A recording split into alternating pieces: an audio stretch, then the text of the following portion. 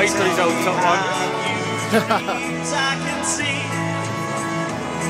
I came along just to bring you this song. Won't you spell